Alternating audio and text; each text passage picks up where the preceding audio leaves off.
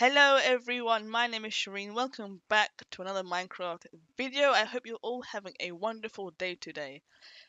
In this video, I'm going to be showing you how to install Minecraft Education Edition.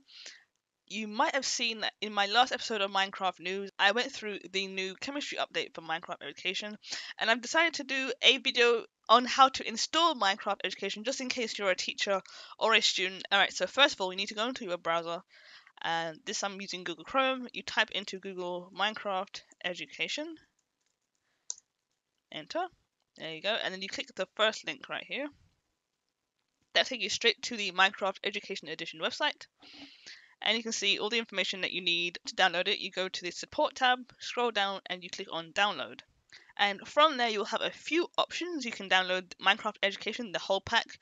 You can download Code Connection, and you can download Classroom mode as well. Today, we're going to download Minecraft Education Edition. So you press um, either Windows 10 or Mac OS. I'm on Mac, so I'll press download. And I'll be back when the download finishes. Okay, so once the download has finished, go into your downloads folder and drag the Minecraft Education Edition DMG onto your desktop. You can double click that to open it. And then you can drag the Minecraft Education Edition into your applications folder. Once the Minecraft Education Edition application has been copied into your application folder, you can then go ahead and open your applications folder and scroll down to Minecraft Education Edition. Now you can see that I cannot install it personally because I do not have Mac OS 10.11 or later. I'm still on 10.9.5 but if you want more information about Minecraft education, I highly recommend that you go onto the education website and then you can visit the how it works tab right here and you can see what Minecraft is, why they chose Minecraft to do this with in the classroom and tech specs that you would need to actually use the Minecraft Education Edition.